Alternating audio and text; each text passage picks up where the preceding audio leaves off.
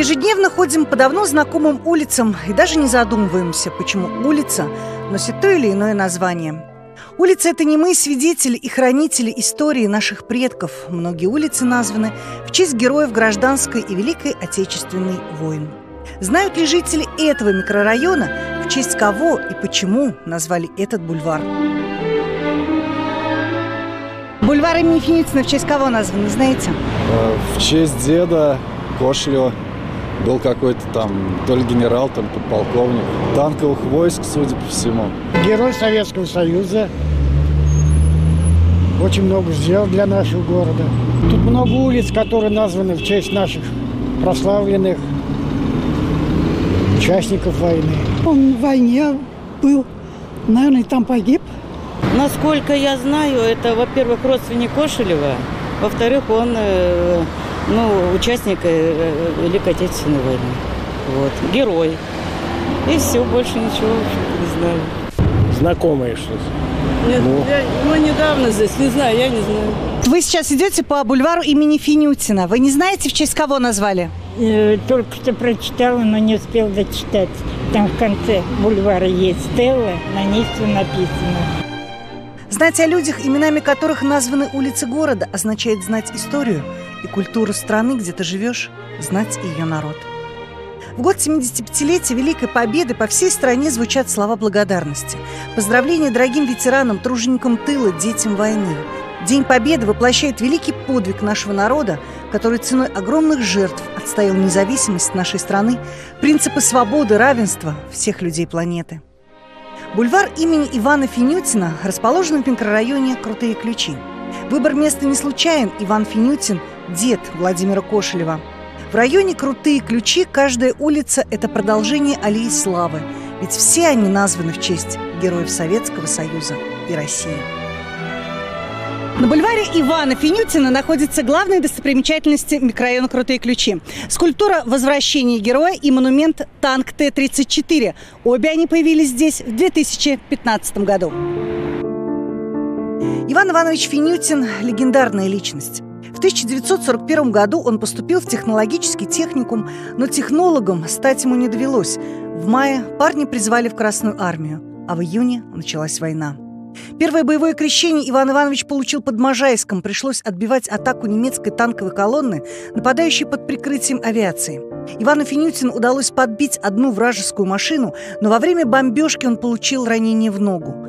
После госпиталя боец вернулся в строй водителем-механиком танка Т-34. На нем он вышел в рейд 25-го танкового корпуса, прорвавшись глубоко в тыл врага. Урон противнику был нанесен серьезный, но обратно из окружения пришлось выходить пешком. Заправить машины было негде. Свой главный подвиг Иван Финютин совершил в Польше 21 января 1945 года. Расчет самоходного артиллерийского орудия проник в тыл врага и нанес ему значительный урон в живой силе и технике. Бульвар получил свое название в честь Героя Советского Союза, старшего сержанта Ивана Финютина, который заслужил свою награду во время Великой Отечественной войны в боях на подступах к польскому городу Инорвацлав. Тогда он в составе экипажа самоходной артиллерийской установки проник в тыл противника. Утром в тумане они настигли колонну вражеских танков и пристроились к ней в хвост. Финютин отдал приказ наводчику. «Володя, когда они будут делать поворот, бей по переднему, потом расстреливай задний, а потом тех, что поставят тебе бок под прицел. При этом самоходка была настолько уникальна, что располагала зенитным пулеметом на крыше Викерсом. Э, у нее вообще не было сверху э, крыши. На самоходках такое часто происходит. Вот, в общем-то, необычное такое э, сооружение и уникальное. У нас не было ни одной противотанковой самоходки нашего изготовления вообще. То есть ради них, а, ради подразделения, где служил Финютин, наши штабисты создали целое направление боевой техники, которое зафиксировали в названии. Дорога, по которой двигалась колонна, впереди поворачивала почти под прямым углом вправо, словно специально. Финютин приостановил машину. Вот уже три танка сделали поворот. Подал команду. По головному огонь!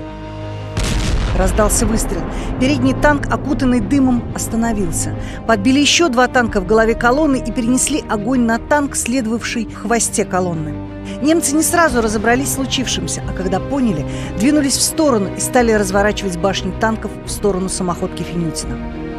Среди всего изобилия, которое к нам попало, оказывается, было несколько десятков а, противотанковых артиллерийских самоходных установок, которые назывались М10 Wolverine.